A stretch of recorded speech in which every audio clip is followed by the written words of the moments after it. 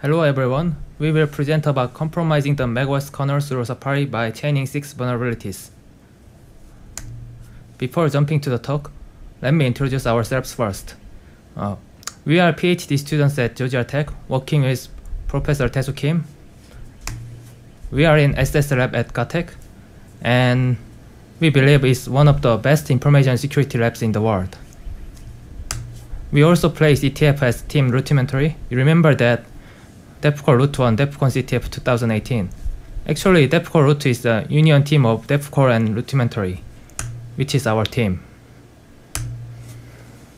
As you know, we won in Pontoon 2020 by demonstrating Safari exploit.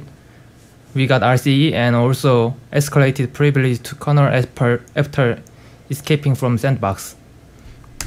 We used 6 unique vulnerabilities in our exploit chain and won 70k USD.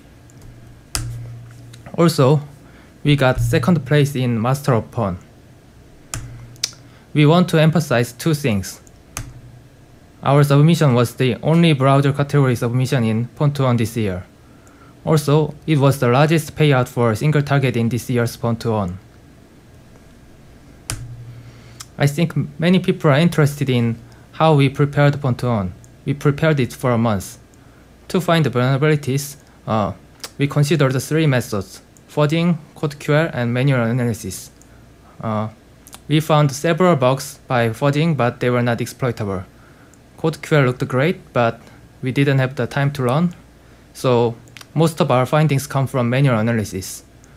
Uh, we had frequent yet quick meetings to share information among members to fully utilize the short preparation time.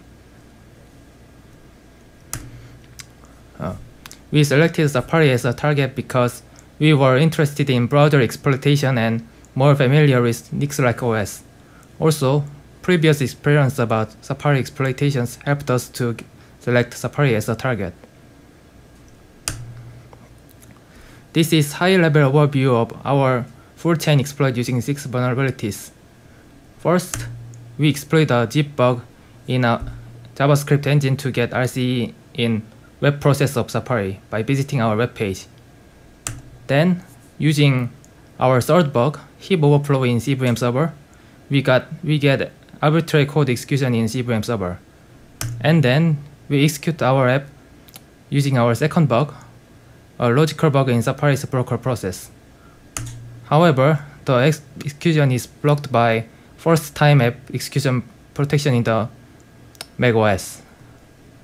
So we used our force bug to bypass this. Now we have code execution as an unprivileged user without sandbox. After that, we use our fifth bug, a race condition bug in CF preference daemon to escalate privilege to root.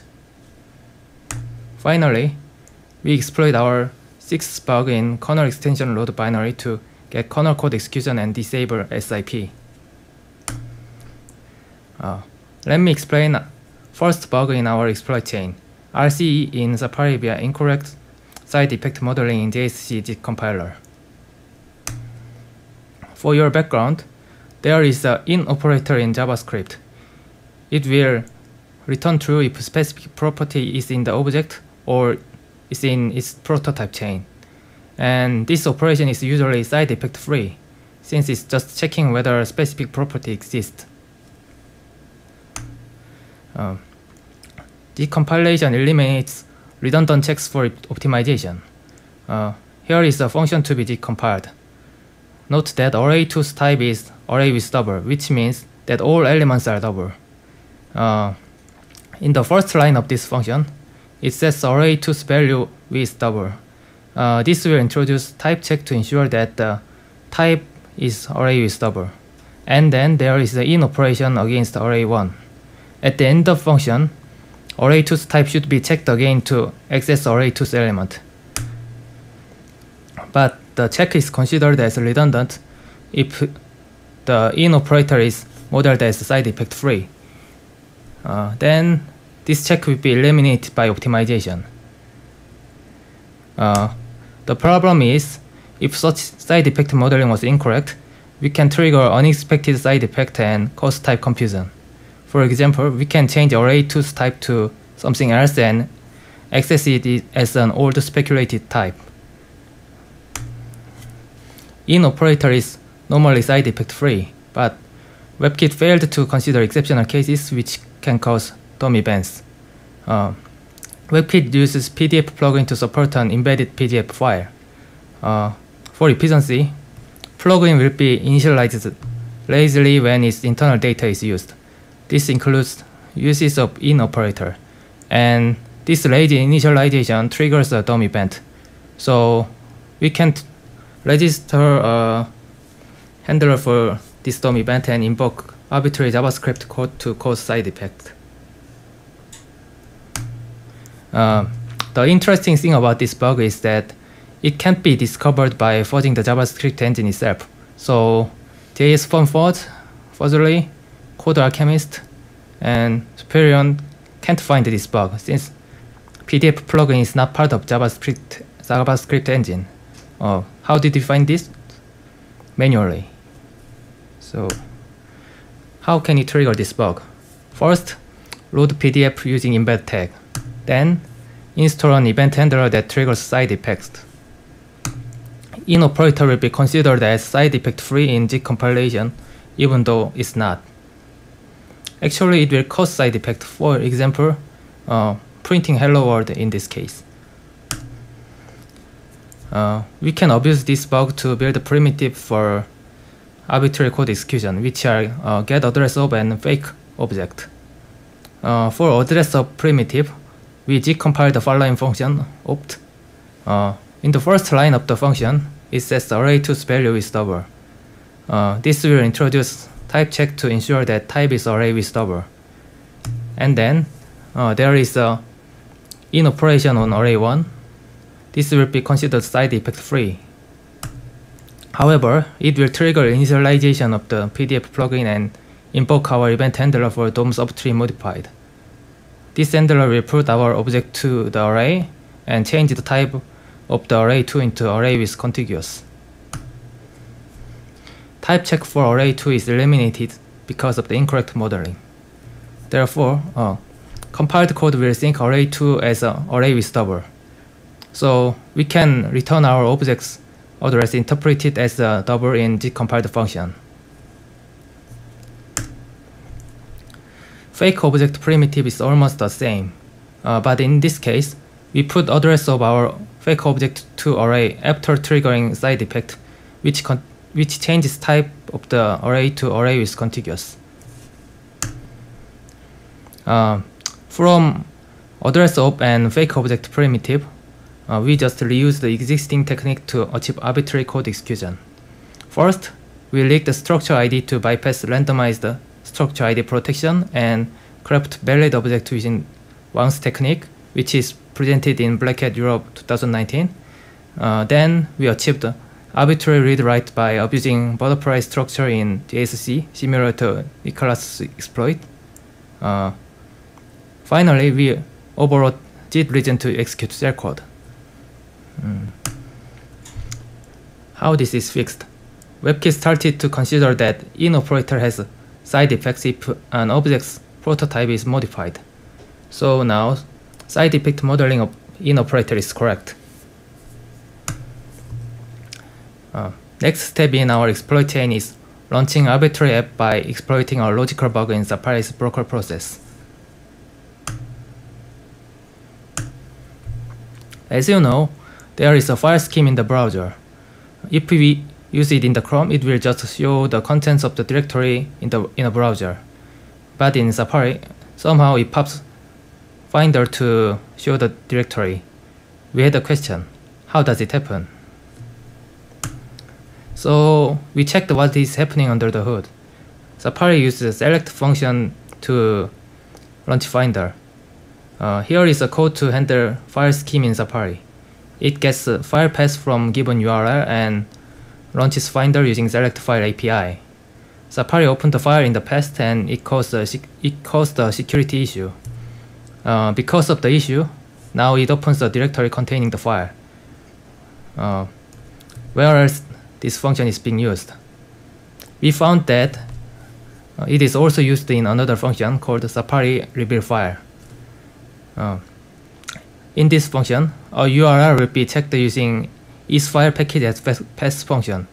isFile package pass function checks whether a URL points to an app. Uh, so in this case, select file function is called with uh, URL and nothing interesting happens. But if isFile package at pass returns false, then it will call select file with argument in file viewer rooted at pass. After a quick experiment, we discovered that a path is considered as an app by isFile package at path if it's a directory whose name ends with .app and uh, we can also bypass this check using symbolic link. Also, if select file's second argument points to an app, it will launch the app even if it's a simple link. Uh, and most importantly, uh, the renderer can make broker to call this function using Safari IPC. In short, uh, we send the IPC after making a symbolic link for an arbitrary app. Uh, we can launch the app. But two problems still exist to launch the arbitrary app. First, we can't create a symbolic link from the renderer since it's restricted by sandbox. To resolve this, we use the bug 3, arbitrary code execution in CVM server. Second, Apple has a mitigation called first time app protection. In particular, if an app is not signed by trusted developers, its execution will be blocked until user's approval. But we were able to bypass this protection using the bug 4. So, how did Apple fix this? uh, they just removed the application launching path. Now, Yongyi will continue the rest of the presentation. I'll continue with the arbitrary code execution vulnerability in CVM service by using heap overflow bug. CVM server is an XPC service accessible from web process. This service is used to support OpenGL rendering and we can see it is exposed in the sandbox profile code. Um, it is also sandboxed, but it has more capabilities than web process. For example, we can create a symbolic link and send a signal to other process from here. And there is heap overflow bug in CVM server. As you can see here, if we send a message with message field set to 4, then it calls a function named CVMS service, uh, server service attach. All of these arguments are controllable from our XPC request. As indicated here, let's focus on framework name. In this function, it opens a file name in the form of framework name, type of CPU, user ID, and .maps concatenated. Since framework name is controllable and there is no filter, we can make it open a file in any directory. In our case, we can create a file in the sandbox directory and make the CVM server open this file. Then CVM server reads the maps file by calculating its size based on its data. Let's look at the detail of the process. Here is the pseudocode for the binary code above. Counter and offset are read from the file, so it is controllable. Then size is computed, and it'll resize the buffer. Then it'll also read the remaining part of the file. As you can see here, size can be smaller, smaller than 80, like both counter and offset can be 0. Then size will be 0 too. But the actual size to read underflows in this case, making it possible to overflow the buffer. Note that fread also stops at the end of the file, so we can also control the size to overwrite. To exploit this, we used another handler from message number 7, which returns the MAC port to the client. A MAC port is an IPC mechanism in macOS. And there is a kind of MAC port named task port, which can be used to control a task.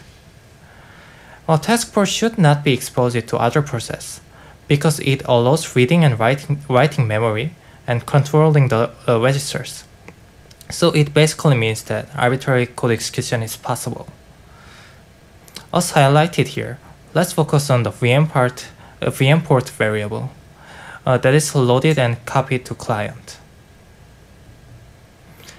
As you can see here, the VM port is loaded from an array located at heap, so we can override the port value. So we first locate the valid port value using other handler. Then we override the port into the task port and send a message 7. Then the client will receive the task port of CVM server, and in this case, the client is web process. Then we can execute arbitrary code in CVM server by allocating memory and modifying threads registers. Apple patched this by checking if the real path of the map file matches, the, uh, matches to the given path. So arbitrary file open using path traversal becomes impossible. Also, they added a check for site underflow. Then we use another bug to bypass. The first time app protection. Here's a reminder that there's a first time app protection, which requires user interaction to open an application launching for the first time.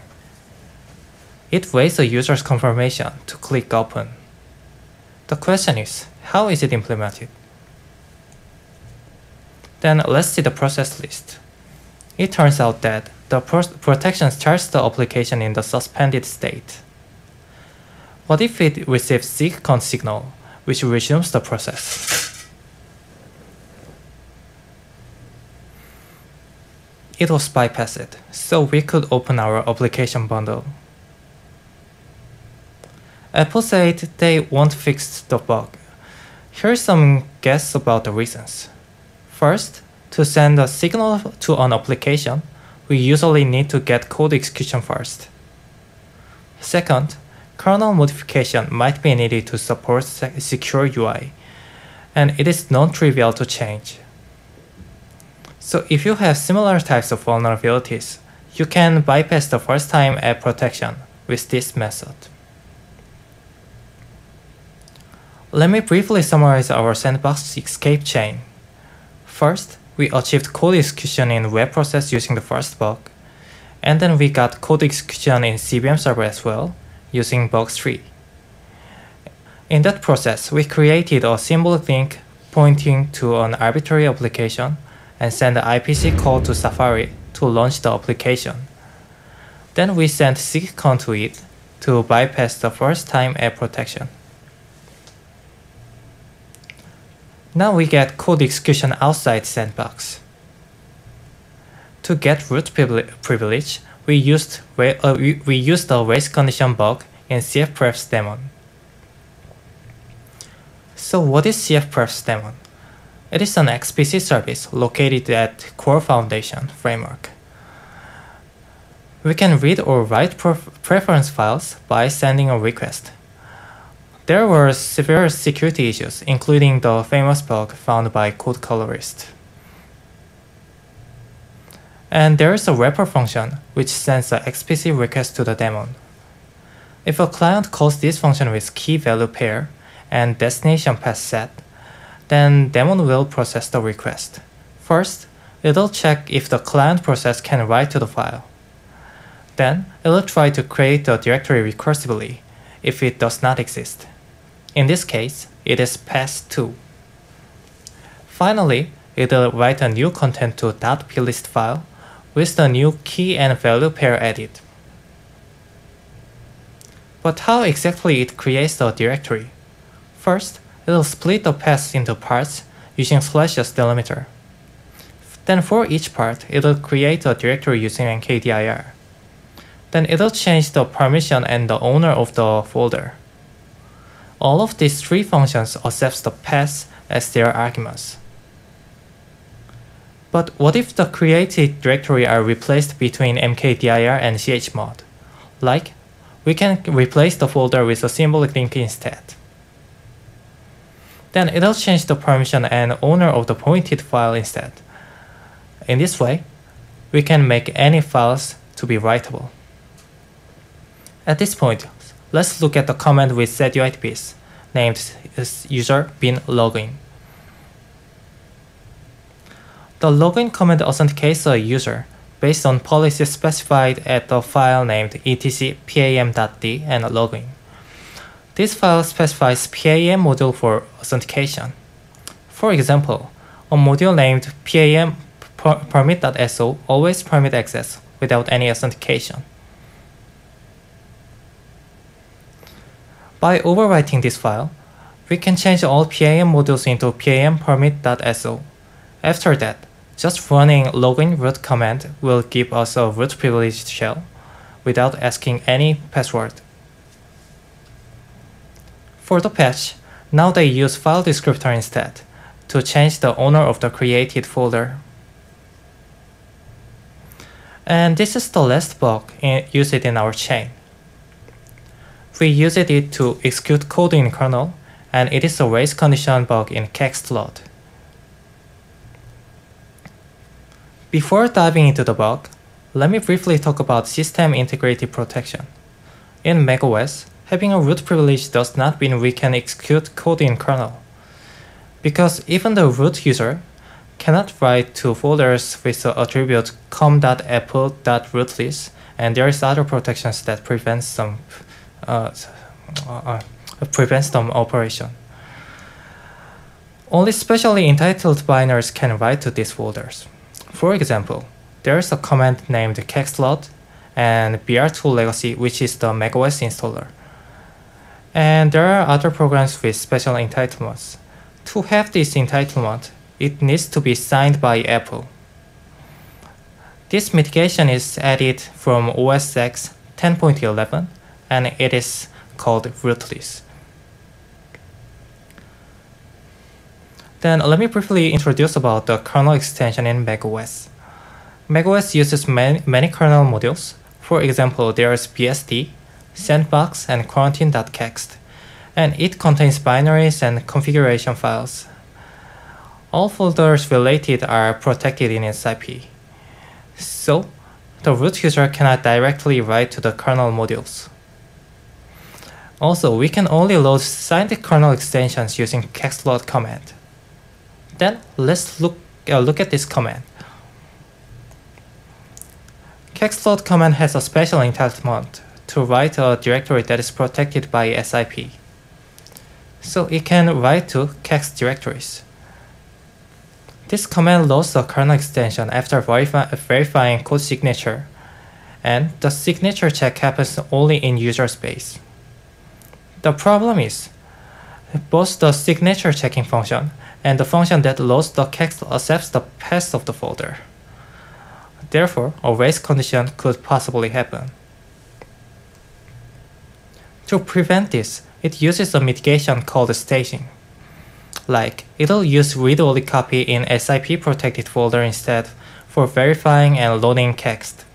First, it'll copy uh, text to SIP protected directory then it will verify and load the copy instead of using the original one. An attacker cannot modify text file between verifying and loading because of SIP. So it means that we fail to exploit the race condition. But there are two problems in staging mechanism. The actual steps are, first, it copies our text file into SIP protected folder named the library stage extensions, Note that the path is preserved except the base file name, which is replaced into a temporary name with UUID. Then it verifies the code signature. If it fails, it deletes them. If it succeeds, it moves them into library staged extensions tmp8.kxt. Then it'll load the kernel extension. The first problem is, it copies all of the files, including the symbol link files. Second problem is, we can actually avoid kextload from deleting them by killing the process before step 3. It is possible because both of the attacker process and kextload process are running in the same account, which is root. So our plan is, we place the symbol link under the kext bundle, then run the command. It'll first copy them like this. and we kill the process before it deletes them. Now we have SIP protected symbolic link file. Then we run the command again. In this time, a kex under the symbolic link. It will copy b.kex under the folder named symlink to the destination path, which is under the symbolic link file. By doing this, we can get a staged kex folder inside the writable folder, and it is no longer protected by SIP. And we used another technique to improve the chance to win the race. We abuse the sandbox feature to intercept some activity of process. First, we can prevent deleting staged files by terminating kex load. Like we can stop uh, uh, um, like we can uh, do that uh, um, oh, uh, we can do that by denying a link and send termination signal.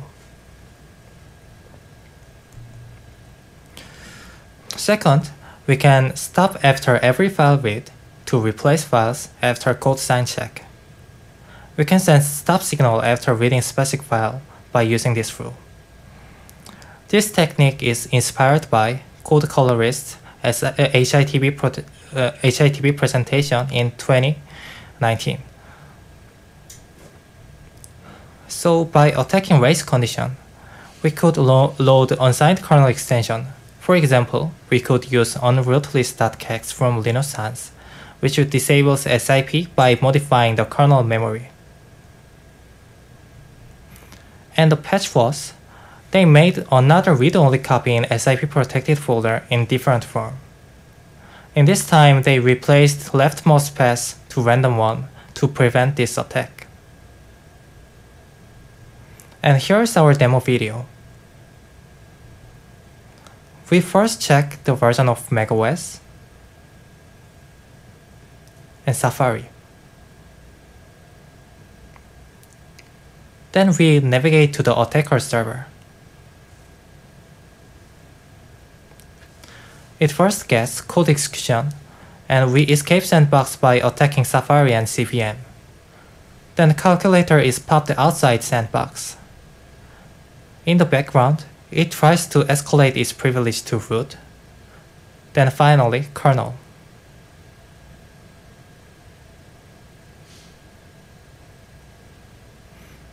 And it shows a terminal showing that SIP became disabled by running code in kernel. So our conclusion is, we discussed six vulnerabilities and their exploitation used in Pontoon 2020 to compromise Safari with escalation of kernel privilege. They show difficulties in protecting a large and complicated system. We open source our exploit chain to foster further research. Thank you for listening. Oh, yeah, it seems like uh, we don't have any questions yet?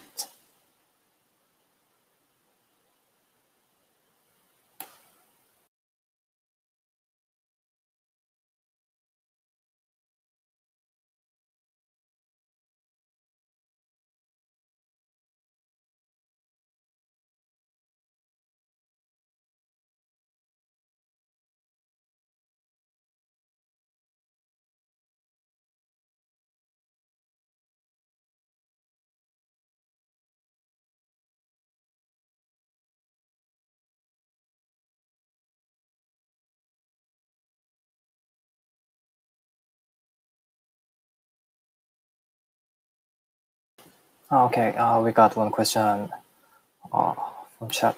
Uh, can you drop your uh, GitHub link in here? Um, okay, I'll pa paste the link to the chat.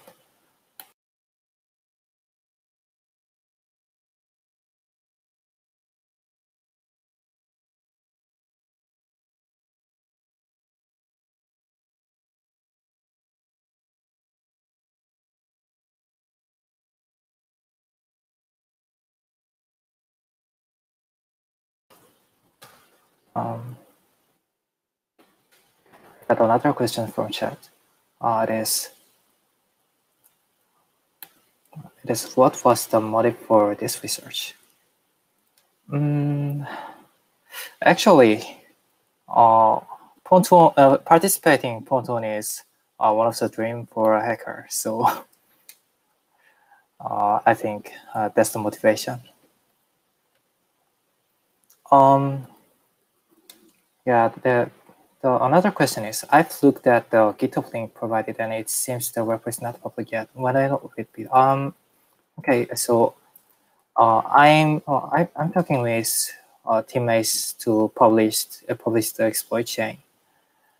So so so I think uh, it'll be public uh, after about some minutes later, I guess.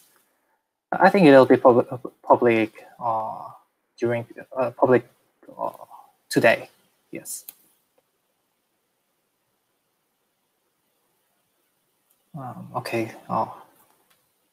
Uh, do you think the move by Apple to ARM64 CPUs will make exploitation of this kind of chain more challenging? Um, yes, I think so.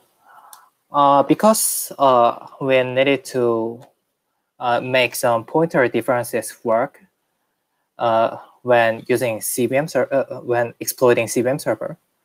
So if if uh, some mitigations like pointer authenticate code is applied, then I think the exploitation will be uh, harder. Um, and the question, another question is, uh, what prompted, prompted you look at the CVM server? Um, actually, we uh, looked at uh, many demos, and CVM server is one of them. And we found the vulnerability in CVM server, and we promptly promptly to exploit it, and it was success. Uh, so at first, we we tried to look at XPC and MIG demos uh, because there were some existing research around that. So yeah, uh, I think uh, this can be answered.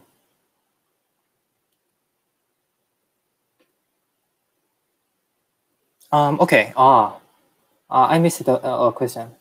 So can you talk about how you go through manual finding a? Like what you what do you do to get started? Um, yes. So first, we listed uh, all of the open demos that is exposed to vendor process. And then we uh, and then we uh, actually made a footer to uh, naively uh, just send some requests to that, but it does, does not uh, uh, it does not work well.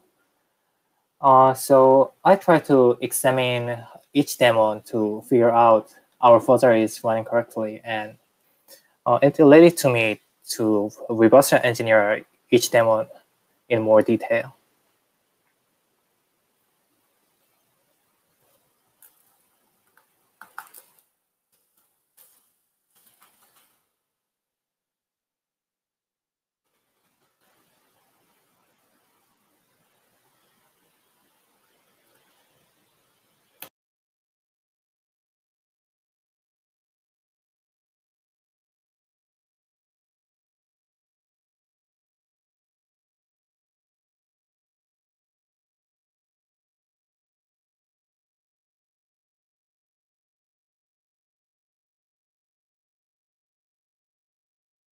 Um, okay, uh, we got another question. Have you tested these bugs on iPhone? Do they work? Uh, actually, uh, we couldn't because we don't have a debugging environment for iPhone yet. Uh, but uh, I've saw some ad advisory on iOS acknowledging our bug. So I think some of them would work, but I think the exploit chain would be completely different, I guess.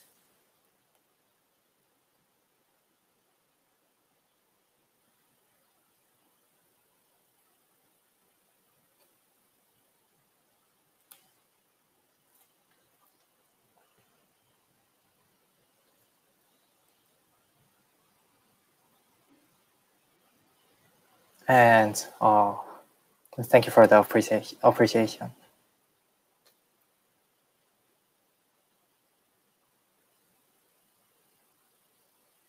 I'm glad that you enjoyed our talk.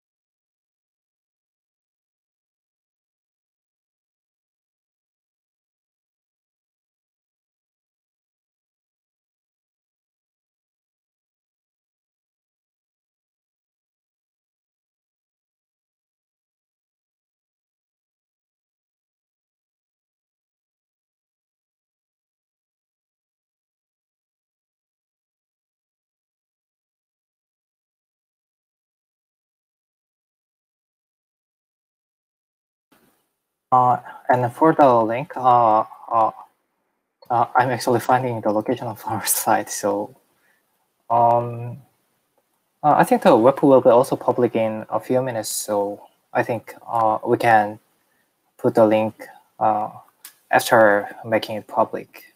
So just for a moment. Thank you.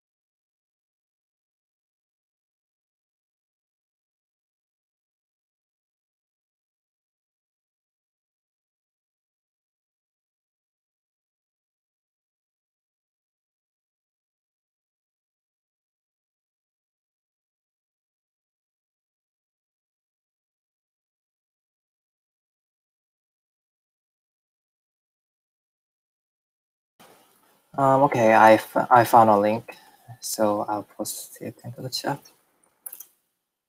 Uh, please note that uh, this is not made, uh, made in public. Uh, we're, uh, we're still cleaning up some.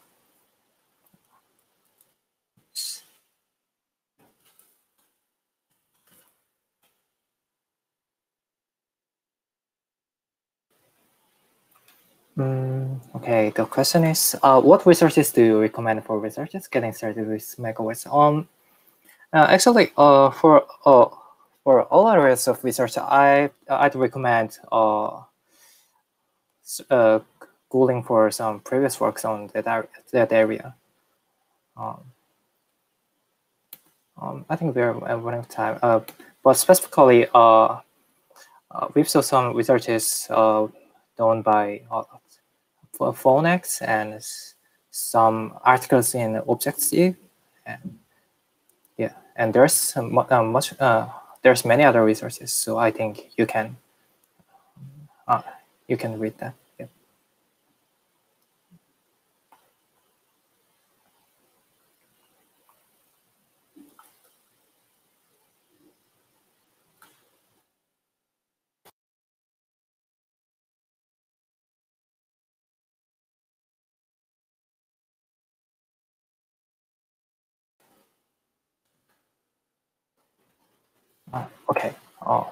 Oh, thank you for thank, thank for listening our presentation.